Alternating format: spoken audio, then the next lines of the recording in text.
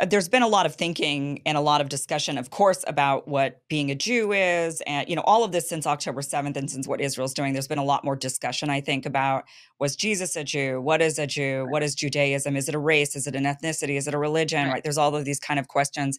What do you think it is? I mean, for me, I definitely identify as Jewish and I definitely identify as not religious. So I think it can be I mean, this may be a little problematic to say, but for so long, like you didn't have a choice about whether to identify as Jewish. It wasn't a question of religion. It was just like if your name was something, people would know. Like my Yeah. mom's last name is Eisenberg. When she was growing up, like kids from the Irish Catholic schools would throw rocks at her and her brother. Mhm. Um, you know, there were Jewish neighborhoods historically. There were like Jewish professions or things that Jews couldn't do. So it used to not be a choice. And I feel like that I actually I mean this is this maybe sa- sound weird also given my politics because I'm so against the weaponization of anti-Semitism, but I do think anti-Semitism had a large role in shaping Jewish identity. I mean, I think being a persecuted minority can shape your identity and it can shape it in two ways. And this is I think what like a real question facing the Jewish community is right now, which is that for some Jews, the Holocaust takeaway is never again just for Jews, and we don't really care about anyone else. In fact, we will ethnically cleanse other people. And then for other Jews, and I would obviously identify with this group, never again means never again for anyone. And it's the stuff that happened to us historically that would make us more sensitive to other people's suffering and not want to inflict that on anyone else. Right. To be able to spot it, you would think that you know, that's what never again always seemed to I'm not Jewish, but it, that that's what it meant to me was always like recognizing history, studying history and being able to spot it again. Right. You know, in my mind, the likelihood that it would happen to Jews again was like uh, minimal. It to me it would obviously happen to a different group and the whole point was to pay attention to the warning signs. Right. Yeah, and you see like the way that I mean Palestinians are compared to vermin, the way Mhm. that Jews were compared to vermin. Um, you know, they're p- portrayed as rats in certain cartoons. Um, the way that they're concentration camps, and I know a lot of people don't like d- doing the comparison. They think it trivializes it, or they think it helps uh, Zionists like uh, portray us as irresponsible. But there are parallels, and there are Holocaust survivors who make those parallels. And you know, the thing is, it doesn't have to be exactly identical for the message to be this is still not good. Like, yeah, there are not industrial um, death camps. They are not industrialized the way they were during the Holocaust. Um, but is that really like the takeaway of, of never again should be never again exactly this way but if it's other people and if it's done not quite as uh, in in a way that's less mechanized then it's okay or people will say well if we wanted to if israel wanted to they would kill all of them and they haven't so it's not genocide which is not the definition of genocide by the way Right. Yeah. But that to me like is the radical tradition that I come from and the radical tradition my family comes from and the radical tradition that my camp, you know, uh was founded in. This Yeah. Jewish identity meant a solidaristic internationalist identity and diaspora identity. And there's a lot of hatred of that coming from Israeli Zionists or American Zionists. Yeah. In thinking about it a lot, I do feel like the most dangerous aspect to this is I think it boils down to the belief of whether or not one believes being a Jew is a race or an ethnicity or a religion. Um, because the whole concept of Israel, right, is that it's a home for Jews in an ethnic and racial sense, not even a religious sense, right? Because they're But if saying, you well, there's convert, but if you convert, see, this is where it gets complicated. It's like right, if you convert, to me, I grew up thinking like honestly, you can convert to be a Jew, and I, and you and I have both had on Rabbi Yaakov Shapiro, and he and I disagree on this because to me, I don't feel like I'm not Jewish just because I don't believe in God. In fact, I think it's a very Jewish thing, even rabbinical thing, to question, to be agnostic. There's so much questioning in the Tor- in in the rabbinical uh huh, tradition and skepticism. Um, he thinks that being Jewish just means being a practicing Jew. So So for him, thinks it's a Ivanka. Trump is is Jewish. Yeah, Okay, I don't think Ivanka Trump is Jewish. I mean, I, I that's because I can't stand her. I don't want her associated with me.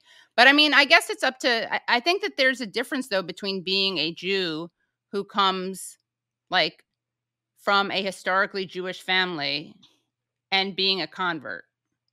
Sure. Um, uh, so I I do t- I before I mean before all of this, and I was forced to de- to think deeper about things and issues. Right. I would just say that being Jewish was an ethnicity and a religion, Yeah. and maybe even a race, because like you said, people would look at you and say, "Oh, Katie, I could tell you're Jewish," Right. right? Like just by. Although to me, it's like you could be Italian. If you No, told I me you were yeah, it's Italian, not I'd be really like, eth oh, with me, okay. it's more cultural signifiers. Sure, like right, okay, yeah, right. Well, the and there's same some thing, people like who are like, "I have no idea what you're talking about," and other people I think who know a certain, like, New York Jew type. God, we're gonna get in trouble for this conversation, right? People are gonna call me a Nazi or something, yeah. Ah, well, that's you know, Yeah. I'm sure they've already Nothing been coming after us, you. Right? right, Yeah, nothing new. yeah. Um, I I mean, I don't know. I I I guess I you know, I didn't spend a whole lot of I did live in New York for a bit on the Upper West Side. I don't know if I would have noticed a difference, honestly, between a. New York Jew or a New York A New York Italian, to be Italian, right, honest. Yeah. yeah. Looks right. the same, acts the same, talks the same. You know, I there's used a lot of I was lots of people used to think I was Latina, which I loved, of course. Yeah, I mean, you could be anything, to be honest with you. Um, I guess though, in thinking about this more, I I think I do now. I, so it's so I I half agree with with uh, Rabbi Shapiro in that I do believe if you're religiously Jewish, no matter what, like even Ivanka, I Right. suppose, then you're Jewish. It's a religion that makes you Jewish. However, I understand the culture aspect. It's like I celebrate Christmas, like this Right. Sunday's Easter. I'm going to have an Easter Sunday dinner. But what what do we do at my Easter? Because we're not religious, we color eggs. We have an Easter Yeah. bunny basket. You know, we eat like Easter food. It's not religious for us at Right. all. It's a culture. We've been doing it culturally Easter egg hunts and Easter baskets and all, you know, that's something we've been doing for my whole life and generations before me on my dad's side. Same thing with Christmas. Like I, we celebrate Christmas. We're big onto Christmas in this house, but you wouldn't see a single baby Jesus in our Yeah. house. Like it's My dad it's has my dad, who's very interested in other religions, as I referred to Hinduism, he has a creche that he likes to set up, which is funny. A so I mean. Yeah. You're right. So it's it's uh so we're culturally Christian in Right. this house and culturally Buddhist to be honest as well because I come from both. Right. But I wouldn't so I would say we're Christian in that we're Christian culturally, right? But we don't sell I mean I don't think my husband's ever been to church in his life to be honest.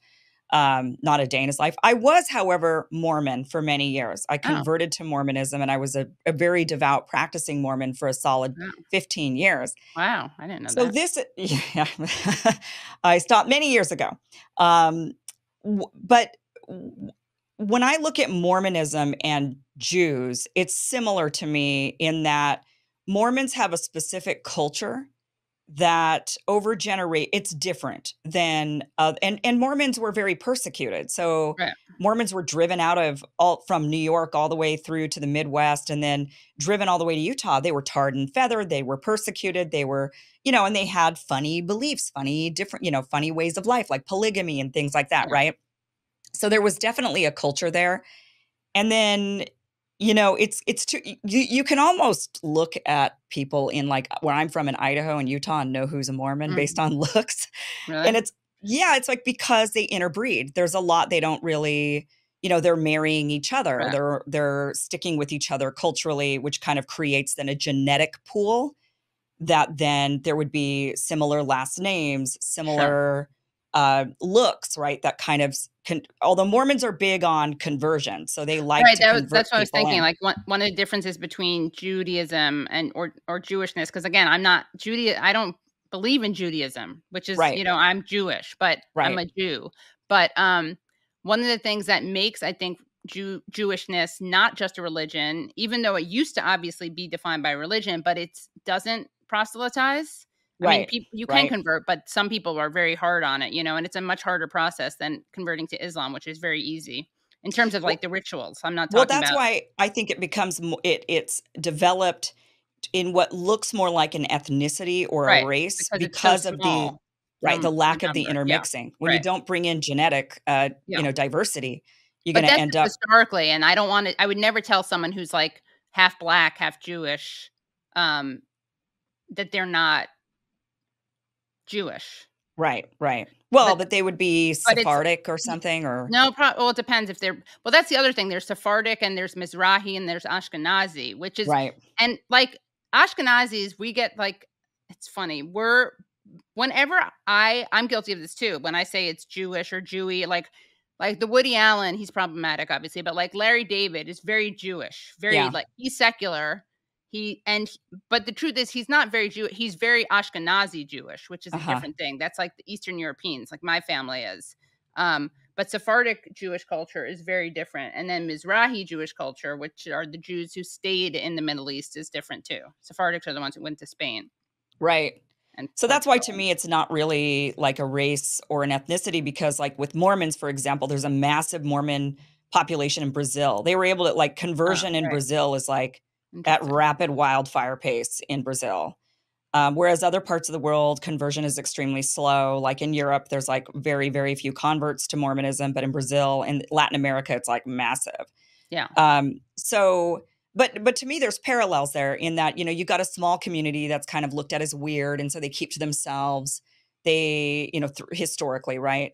Yeah. Um, They then intermarry. newer, obviously.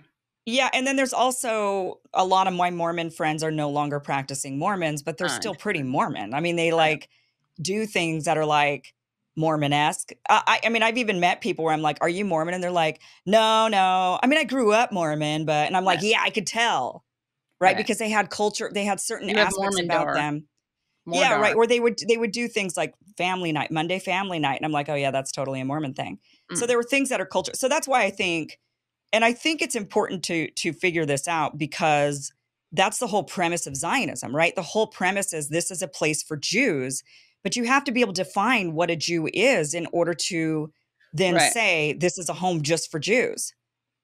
Right, which is why like Yaakov Shapiro is so against Israel because he thinks it makes a this nat this like and this is I mean, I understand that point, but it is also like it wasn't up to us before whether or not to identify that way. Right, which he also made that point. So I thought Yeah. that was, you know, that's right like he cuz he he would say that, you know, Jews would try to convert or say I'm not Jewish, I'm just secular, right? Yeah. Um, I think I think for the ones that converted, there was assimilation. There must have been because we know now, like for example, like the twelve tribe. You know, if you go back to biblical times, like the twelve, there's so much conversion that has happened out Yeah. of Judaism, and those people are now like totally with like unidentifiable within all of these various different groups, like within Islam and within Christianity and within all Yeah. all over the place. But if you stay secular and culturally Jewish, right, those those communities were definitely pointed out and were ridiculed. And he brought that up, and that so I mean that's where i i agree more that it's it's not just if you religiously identify. I do think if you culturally are also part of that group, then you could be identified with that group. Yeah. Well, also given that so much of Israel, I mean, the mythology of Israel or the justification for Israel is so much based on the Holocaust. Hitler didn't care if you were religious. Like for Hitler being obviously it was a cultural racial thing because Right. he believed in race science. Um, but he you I think had to have one Jewish grandparent. So Right. which is like to the extent that people are trying to found and i'm not justifying the founding of uh of israel at all but obviously there were some people i mean it was a colonial project which the zionists themselves made clear through their language but there is something about being jewish that was obviously put you at risk right. and in that and then i guess i guess though when you convert you kind of put yourself at risk depending on i don't know eh, but i understand the more ethnic i understand how anti-semitism's definition of jewishness shaped jewish identity I also think, though, to your point about Hitler, don't you think that it would compel more Jews to say it's not a race, it's a religion, right right? Like if you're going to identify a religious group of people as a race and then be racist against them in in extreme right the way that Hitler was. yeah when you say let's push back against that Yeah, like what happens say, to all the jews who felt jewish but weren't religious Well, it's it's just like I would celebrate Christmas for the rest of my life, even though I don't go to any church Yeah. anymore. Like I don't, I'm not Christian. I'm more Buddhist, if anything, now. But I still celebrate Christmas. It's my biggest holiday besides Lunar New Year. But um, so yeah, I, I don't think that's. I think that's just like part of your culture, right? You celebrate certain holidays because that's what your family has done forever and ever and ever, Yeah. traditionally. yeah But I think it's it would be it's dangerous, and that I I think that's the point. It's dangerous to make it a reli- like to make it a race and an eth- you know I, it depends on your definition of ethnicity. I'd say it's a culture. and I wouldn't go as far as to say it's an ethnicity or a race. And I think it's that's the that's the crux of the issue. Thank you for watching this clip from the Kim Iversen show. You could get the full show by going to kimiversenshow.com. The full show airs live streams every Monday through Friday at 5 p.m.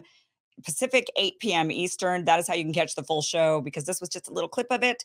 It is free for you to watch. Just go there. It is it is censorship free and free to watch. So join us again over at kimiversenshow.com. That is where you can get the full thing. Thanks for watching.